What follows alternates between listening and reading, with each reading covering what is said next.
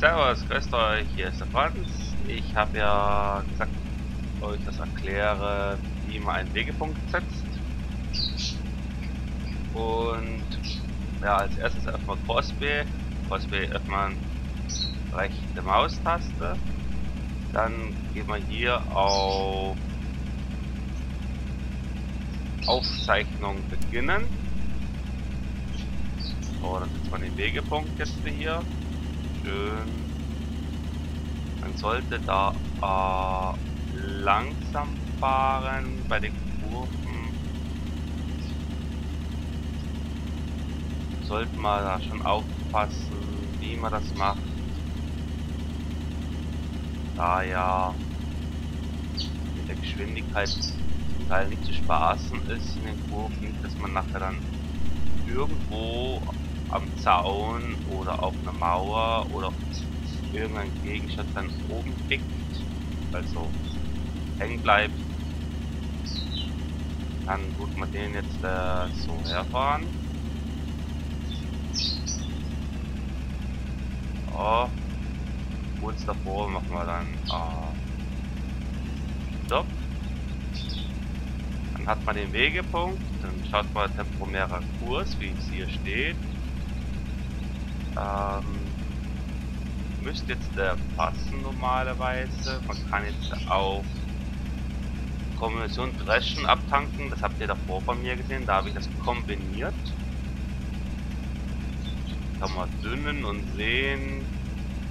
Oder Überführungsrouten. Und noch diverse andere. Da muss ich selber auch noch genau schauen. Aber jetzt äh, starten wir den mal.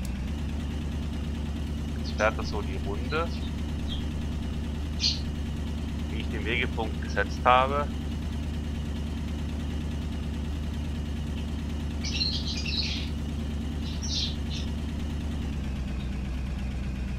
Ach, der steckt den Verkehr versackt da. Komisch, davor bin ich da vorbeigekommen. Da hat er ein bisschen anders, ich bin ja nicht anders da gefahren.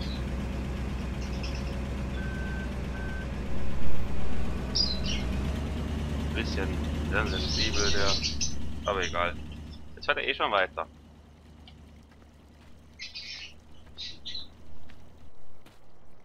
Also man sieht, ich bin nicht drin. Jetzt fährt dann auch mal eine Ehrenrunde.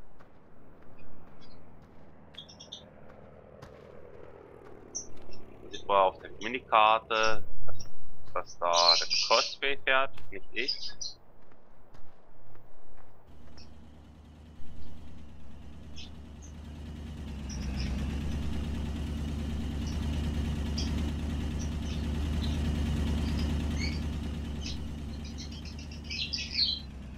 Jetzt lädt er ab.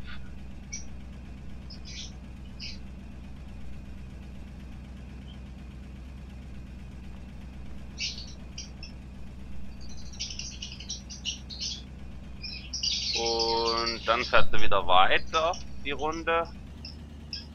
Man kann auch so das dann machen, dass der ein kann jetzt das so machen, weil er automatisch nachher immer wieder die Runde fährt. Wenn euch die Erklärung gefallen hat, dann schreibt einen Kommentar dazu. Ich würde mich darüber freuen. Ich sage dann Servus, grüßt euch, euer Franz.